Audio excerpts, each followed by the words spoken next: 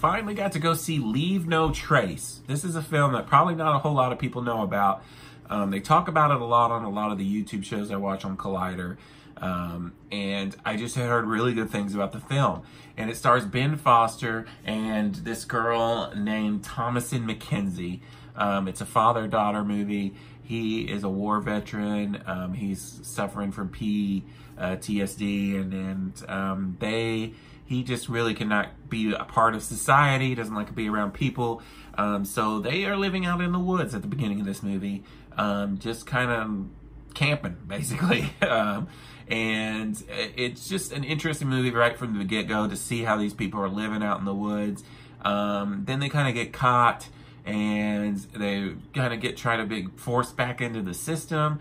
And Ben Foster doesn't really want to do it. Uh, the daughter does, and then it's kind of about their story. Um, and then some other stuff happens. I, I really enjoyed, especially the beginning of this movie. It really it really grabs you and gets you invested in the story really quickly. I love the performances by both of the uh, the girl and Ben Foster in this movie. They're both fantastic. They have really good chemistry, and um, you can tell, you know, he really loves his daughter, but he's got a lot of issues, and he just wants. Uh, he just can't be a part of uh, society. He just wants to live out in the woods and be left alone.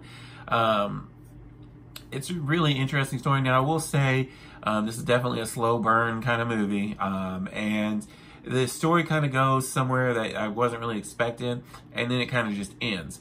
Um, so I just think they could have done something a little bit different. I don't know if this is based on a true story or not, but um, I don't know how I feel about the ending so much.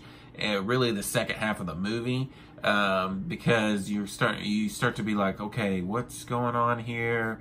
Um, is there kind of a point to this movie? And then it kind of just ends. But I enjoyed the performances enough, and I kind of like the whole survivalist element of the film where they're just out there trying to survive, and the performances were fantastic, and there is some really cool shots. Um, and I don't know, I just I just really enjoyed the movie. I'm not gonna say it's like the greatest thing ever or anything, but um, this might have cracked uh, my top 20 if I had not already done it before this list. Um, but since I had already done my list, it's not to make it there. I'm to give Leave No Trace a 4 out of 5. It's quite good if you like Ben Foster. If you want to see some really good performances about two people trying to survive out in the woods, um, definitely check it out. Until next time, this is Rainy Cage. Peace out.